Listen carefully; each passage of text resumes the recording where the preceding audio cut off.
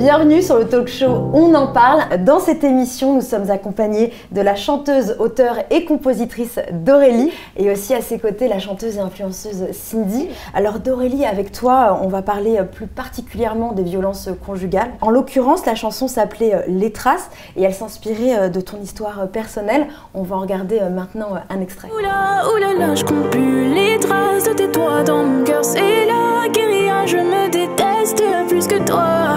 Oula, oulala, je compte plus les traces de tes doigts dans mon cœur, c'est la guérilla, je me déteste plus que toi. Mm, mm. Alors Cindy, de ton côté, euh, tu as sorti début septembre euh, la vidéo Jusqu'à quand sur YouTube. Euh, dans cette vidéo qui cumule aujourd'hui plus de 315 000 vues, eh bien, tu dénonces le cyberharcèlement dont tu es la cible. on va regarder également un extrait. Je me demande jusqu'à quand les femmes vont se faire cyberharceler avant qu'on les écoute. Et moi, ça fait, pour tout vous expliquer, deux ans que je vis un cyberharcèlement ciblé envers moi, envers ma personne, envers ma qualité entre guillemets de femme, puisque c'est tout ce qu'on me reproche c'est d'être une meuf libre qui lâchera pas ses idées et qui se défendra toujours pour être indépendante et forte et qui rappellera toujours aux autres qu'on peut toutes l'être et qu'on l'est toutes. Malheureusement, ça fait deux ans en fait que je reçois chaque jour des photos non désirées euh, de bites euh, et surtout des menaces de viol et c'est très très très très grave. Alors Cindy, depuis euh, cette vidéo, eh bien tu as choisi de défendre le harcèlement et de parler pour toutes celles qui n'osent pas ou qui ne peuvent pas. Alors est-ce que vous pouvez un peu nous expliquer toutes les deux ce qui vous est arrivé? Alors, moi, j'ai vécu une relation durant deux ans. Au début, tout allait très bien. Et au bout du troisième, quatrième mois, euh, j'ai un jour, euh, on était en sortie et j'ai reçu un message un peu bizarre. Et à ce moment-là, il me sort du bus et c'est là qu'il y a eu les premiers coups. Euh, sur le coup, j'ai pas réalisé tout de suite ce qui se passait. Je suis rentrée chez moi. Il est parti de son côté. J'étais un peu livrée à moi-même. Et je suis rentrée chez moi et la première chose que j'ai ressentie, c'est de la culpabilité. Je me suis sentie coupable, moi, d'avoir fait quelque chose qu'il fallait pas. Et, euh, et euh, je l'ai appelé, je me suis excusée. Voilà, c'était la première réaction que j'ai eue. Et euh, les années ont, coulé, et en fait, c'est arrivé deux fois, trois fois, quatre fois, des centaines de fois. Et j'ai jamais vraiment su quoi faire et comment réagir, à qui parler. Autour de moi, ma famille le savait, mon frère le savait, ils étaient tous au courant et personne n'a jamais vraiment su quoi faire. Jusqu'au dernier jour où c'est arrivé, euh, bah, je suis partie. J'ai réussi à moi avoir le déclic qui fait que j'ai quitté cette relation. Et pendant un bon trois ans, j'en ai jamais parlé. Et euh, ce concept que j'ai moi-même lancé, on en parle. Euh, je savais même pas, j'avais pas prévu de ce qu'il allait devenir, je savais pas où il allait, il allait aller. Et quand j'ai eu le retour un peu de, des gens qui, qui, répondaient à la boîte à questions sur Instagram, je voyais violence conjugale, euh, cyberharcèlement, je voyais beaucoup de sujets comme ça et j'étais choquée en fait, extrêmement de, de, voir le nombre de personnes qui avaient besoin qu'on en parle pour eux en fait. Et euh, de là, j'ai fait mon premier thème, deuxième thème et troisième thème, je me suis dit, euh, les agressions, la violence, ça revient souvent. Il est peut-être temps que moi aussi je m'exprime et que je dise, parce que je pense que je peux être un bon porte-parole pour une personne qui l'a vécu et qui n'a jamais eu d'aide extérieure. Donc Les Traces est devenu euh, ce titre euh, et, il raconte comment moi je l'ai vécu. Pas forcément euh, sortez de là, il faut en sortir parce que c'est jamais très simple, mais comment moi je l'ai vécu pour que les gens puissent se sentir concernés et comprennent ce qui se passe en fait quand ça arrive. Voilà. Alors déjà bravo et merci parce que c'est nécessaire, on s'en rend compte. Et, euh, c'est dur d'enchaîner après ce témoignage parce que c'est mm. puissant, hein, vraiment. Et toi, Cindy, est-ce que tu peux nous raconter un petit peu ce qui t'est arrivé et ce qui continue de t'arriver? Alors, personnellement, déjà, pareil, même chose, euh, tu sais que je te trouve très courageuse. on en a déjà parlé. Je suis super mm. contente aujourd'hui que tu arrives à parler, mm. vraiment. Et ça me fait plaisir et je serai là pour toi, quoi qu'il en coûte. Et toujours. Et pour d'ailleurs. La sororité, la vraie. Personnellement, euh, mon histoire avec le cyberharcèlement, elle a commencé dès que j'ai commencé, moi, sur Internet, en tant que jeune fille. Déjà, j'avais 17 ans. J'étais dans un groupe de rap et j'étais la seule meuf. Donc déjà, euh, tu étais directement plus facilement la cible euh, puisque tu n'as pas grand chose à faire là. Euh, du coup, j'ai vite été Enfin, tu as habituée. selon Alors oui, j'avais ma place, évidemment, mais selon certaines personnes sur Internet, tu, n'as pas ta place. Mm-hmm. Il y a des gens qui pensent encore que la place de la femme est à la cuisine. Hein, on mm-hmm. les entend sur Internet, on n'est pas d'accord avec eux, mais ils existent. Mm-hmm. Voilà. Et moi, mon élément vraiment déclencheur et ce qui a fait que j'ai sorti la vidéo jusqu'à quand, euh, ça a été euh, un jour un message que je reçois un matin et qui me prend dans les tripes et monte dans tout mon corps. Et à ce moment-là, je commence à trembler et je sais même plus comment, euh, Parce qu'en fait, ça fait juste écho à un truc que j'ai vécu avant. Et, et du coup, là, c'est le trauma plus le cyberharcèlement et ça a explosé. Et là, tu te ça a dis, explosé. euh, Et là, je me suis dit, j'en peux plus, il faut que ça cesse. Et, euh, et j'ai fait une vidéo euh, trois jours après. Justement, alors cette, respectivement, hein, écrire cette chanson et faire cette vidéo euh, confession, comment ça vous a aidé à traverser cette épreuve? Personnellement, j'ai toujours eu la culture du- de briser le silence. Et du coup, euh, j'ai vite compris que le silence, c'est une punition. C'est-à-dire que non seulement on t'en colle une ou on t'insulte, et en plus tu dois te taire parce que c'est la honte, parce que t'es qu'une victime. Ce qui brise le silence, c'est aussi malheureusement la souffrance en fait. C'est parce que ça devient trop lourd à porter. Et c'est pour ça que on peut aujourd'hui conseiller aux, gens de, de parler avant que ce soit trop lourd. Parce que quand c'est trop lourd, les séquelles elles sont déjà là. Bien sûr. Le truc Clairement. cool, c'est qu'on s'en sort. Ouais. Euh, le truc cool, c'est qu'il y a une porte de sortie. Euh, Il y a beaucoup de travail, mais avec beaucoup d'amour et beaucoup de patience, sincèrement, on- on- je pense qu'on se relève. euh, on se relève. C'est très touchant, très émouvant hein, depuis Merci le début de cette interview. Mm, mm. c'est de libérer ta parole, c'est tu te donnes la permission et du coup avec cette vidéo confession quelque part Voilà. aussi tu donnes la permission aux autres. de dire- de dire non, c'est pas normal, euh, parce que ce c'est n'est pas normal. Exactement.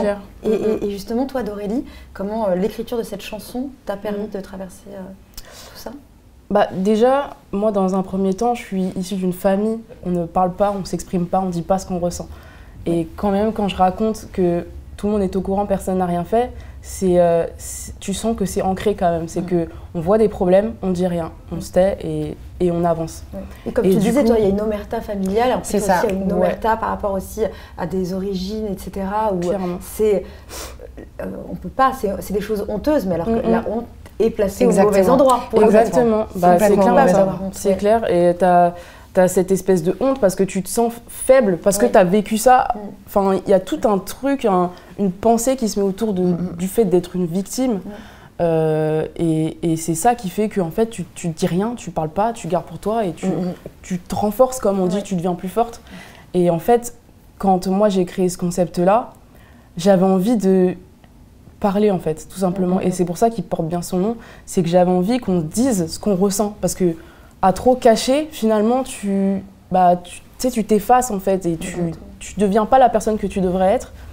Et, euh, et quand j'ai écrit ces chansons et que, et que je propose ces thèmes-là, je voulais qu'on mette des mots sur ce qu'on a ressenti, ce qu'on a vécu, c'était important. Et, euh, et comme tu dis, euh, euh, euh, les traces, bah, ça m'a permis, moi, enfin, de dire ce que j'ai ressenti vraiment. Mm. Tu vois, et c'était une des premières fois. Est-ce que c'est pas violent, compliqué de d'écrire la vidéo confession, d'écrire la, la chanson parce que du coup tu es obligé d'aller puiser dans tes souvenirs, de revivre cette émotion-là? Bah, je pense qu'il fait que mes textes sont profonds, Mm. c'est justement ça. Enfin, un mal pour un bien, pour le coup, je garde Oui. tout. Mais quand ça ressort, ben, finalement, il y a cette émotion ce- que, que tu peux choper dans la chanson, tu vois. Et c'est très vrai, du coup.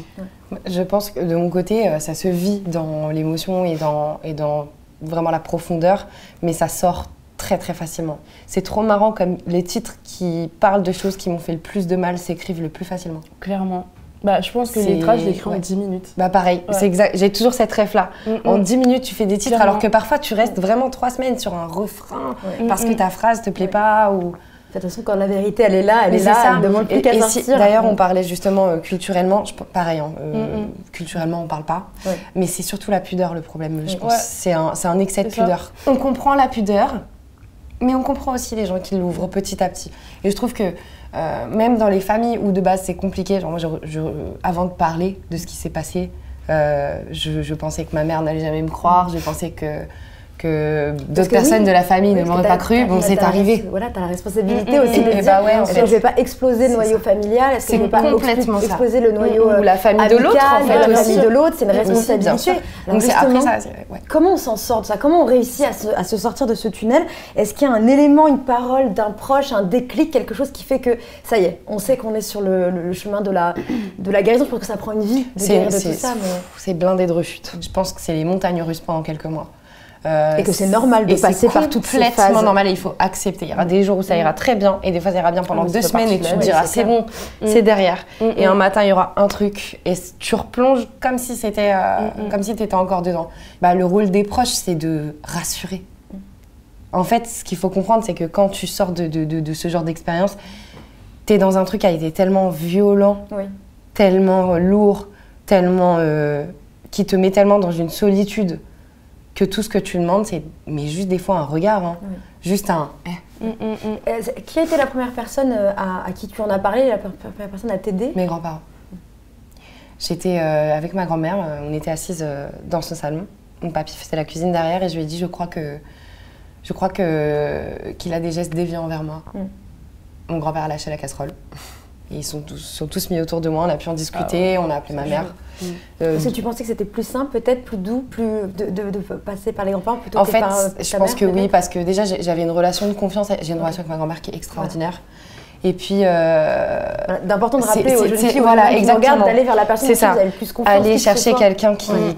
où vous savez foncièrement que vous êtes aimé. Parfois, ça peut être pas une personne, ça peut être un carnet déjà, Oui. juste un carnet de bord, où tous les jours t'écris par rapport à cette situation, où t'en es, comment t'avances, quelles ont été tes pensées, où tu lâches juste, t'es pas non plus obligé de trouver les gens. Euh, mais le mieux, ça reste quelqu'un de l'entourage. Et comment l'entourage peut aider, parce que ce dont on a besoin, je pense, c'est surtout chez les personnes qui, sont, qui ont tendance à vraiment trop souffrir, euh, faut leur remettre la vie dans le cœur. C'est tout ce qui, c'est comme ça qu'on sauve C'est quelqu'un. très joli, c'est très joliment dit, Vraiment, je te jure, c'est comme ça qu'on Ouais. sauve. Et pour toi, Dorélis, qui a été la première personne à qui t'en a parlé ou qui t'a aidé? Bah honnêtement, j'ai pas eu cette chance, tu vois. Euh, moi, ce qui, ce qui- comme je disais, tu vois, ma famille n'était pas trop euh, impliquée dans cette histoire. Et quand, euh, quand ça m'est arrivé, moi, c'était un déclic tellement loin que ça a été un déclic pour moi. Je me suis dit, mais plus jamais je me fais humilier comme ça de ma vie. Et j'ai réussi à trouver, moi, la force en moi, tu vois. Et, et je sais que j'en ai parlé à personne, mais j'ai changé ma manière de faire et je suis partie voir des gens, je suis sortie, j'ai rigolé.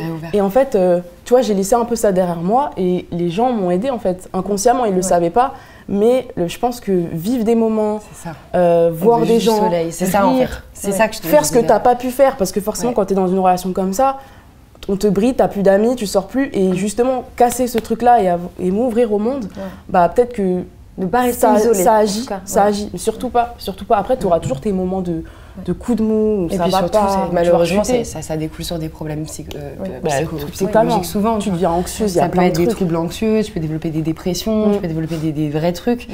Et, euh, et c'est C'est- C'est c'est- c'est très important ce que tu dis, ce que vous dites, et Mm. c'est très, euh, très intéressant parce ça que devient psychosomatique. Exactement, parce Mm. que vous en avez été, euh, pardon d'utiliser ce mot, d'ailleurs on reviendra sur ce mot euh, victime, Effectivement. mais du coup c'est aussi euh, nous en tant qu'amis d'être attentive Ouais. au changement de comportement de nos c'est amis, super Exactement. important. parce que comme vous le dites, Ouais. Anxieux, ça peut aussi être ça. révélateur peut-être de quelque chose que eux veulent cacher, Mm. que peut-être que Mm, mm. nos amis aussi se font. Mais c'est euh, même le propos du, de, on en parle, c'est Ouais. que en fait, au-delà de sensibiliser les gens, c'est aussi sen- sensibiliser les amis des personnes à qui ça arrive pour que bah, j'agis, en fait, je fais quelque chose et, et je, je laisse pas la personne livrer à elle-même parce que ça, ça. peut partir très loin. On touche soit à ton corps, soit à ton intégrité, soit à, à tout ce que tu es, Ouais. en fait. Ouais.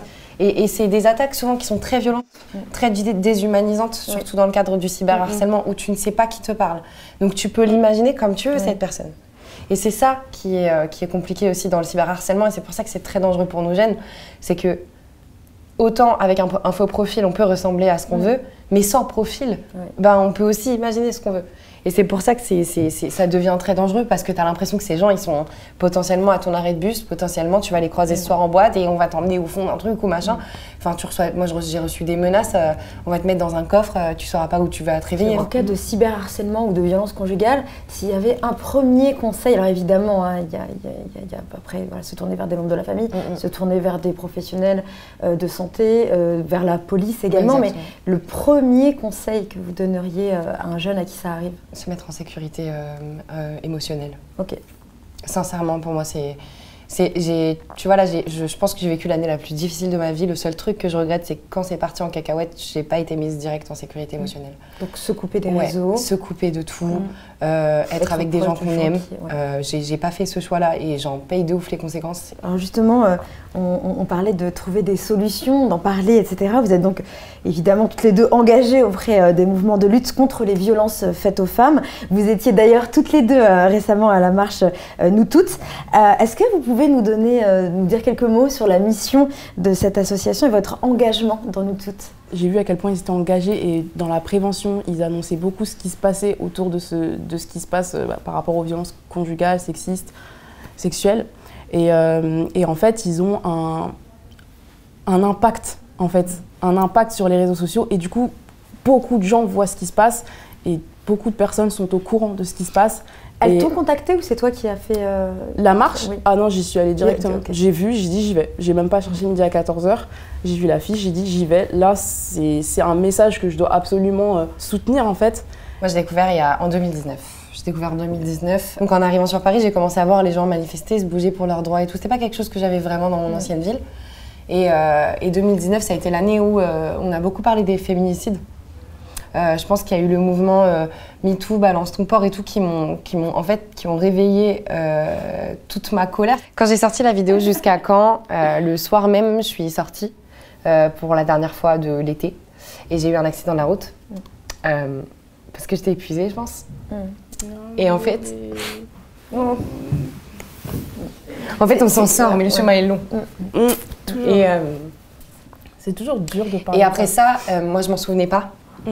Mais euh, euh, du coup, j'ai fait un état de choc, donc j'avais plus vraiment les souvenirs. Mais elles m'ont appris que c'est moi qui, qui les avais contactées, euh, parce que j'en pouvais déjà plus. Voilà. C'est comme ça que ça s'est fait. C'est encore une fois, je, je, je suis super émue. euh, D'Aurélie Ouais, aussi. T'as monté les larmes, moi je suis un Ouais, miroir, mais euh. tu sais quoi, c'est des larmes. ouais, tu sais quoi Non mais c'est c'est ce qu'on s'est dit arrive, tout à hein, l'heure. voilà, euh, on a été testé. Hein, C'est voilà. Mais euh, c'est- quoi C'est des, larmes de libération. Ouais, donc, Vraiment un euh, grand merci ouais. de ta sincérité, de ta transparence, ta normal. belle vérité. Alors on va justement lancer, on va regarder ensemble une vidéo sur le travail et la mission de nous toutes. Euh, qui sont, incroyables, vraiment, qui sont incroyables, qui ont toujours répondu. euh, ouais. La première chose à faire quand on reçoit une personne victime de violence, euh, c'est d'abord de lui dire qu'on la croit, euh, qu'elle est extrêmement courageuse de venir nous livrer son témoignage euh, et que les violences sont interdites, qu'elle n'y est pour rien.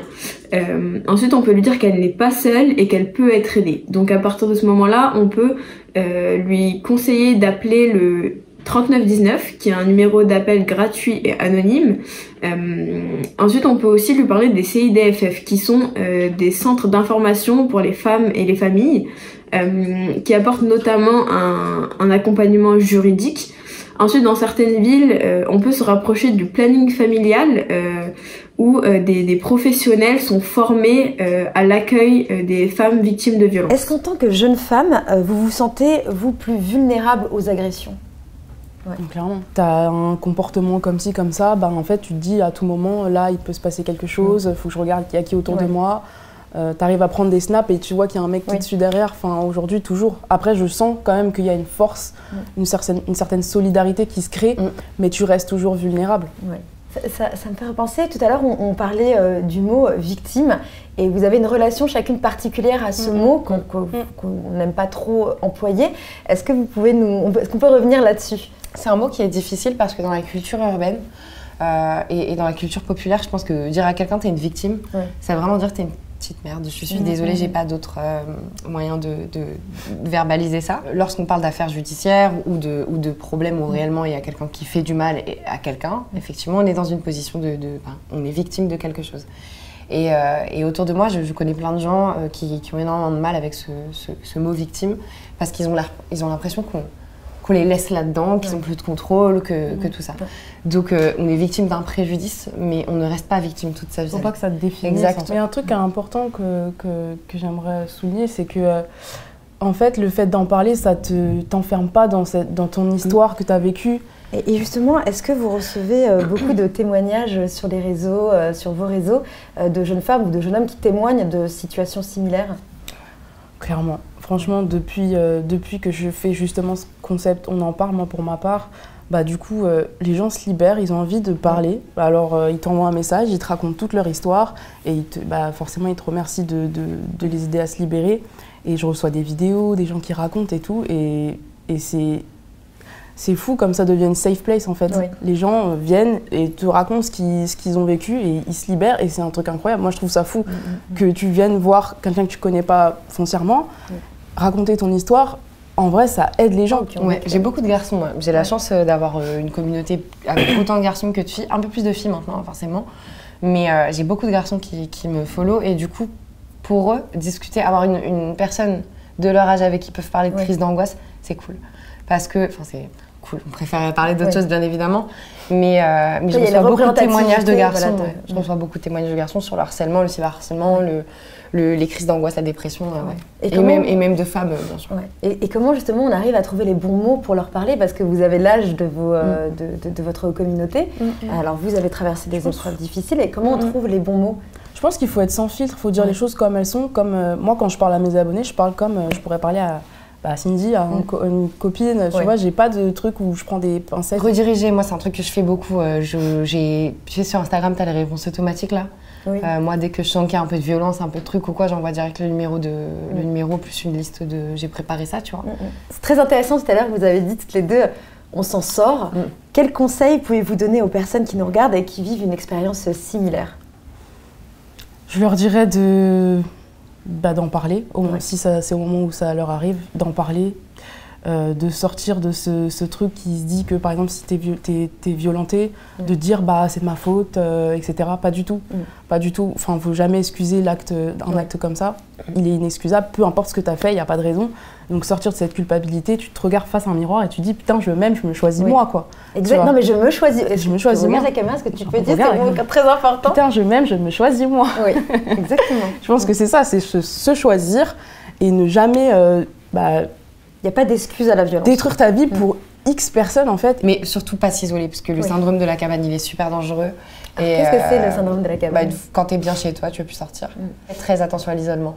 Est-ce que vous pouvez euh, leur dire eh bien, que demain sera meilleur? Oui. Est-ce que vous pensez que demain sera meilleur? Demain sera On a du Ouais. taf, mais demain sera meilleur. Un énorme merci d'Aurélie et Cindy. J'ai passé un moment Merci à hyp- toi. euh, génial grâce à, vous. Encore merci de nous avoir suivis. Encore merci d'Aurélie. Merci Cindy. Et demain sera meilleur. Demain à sera bientôt. meilleur.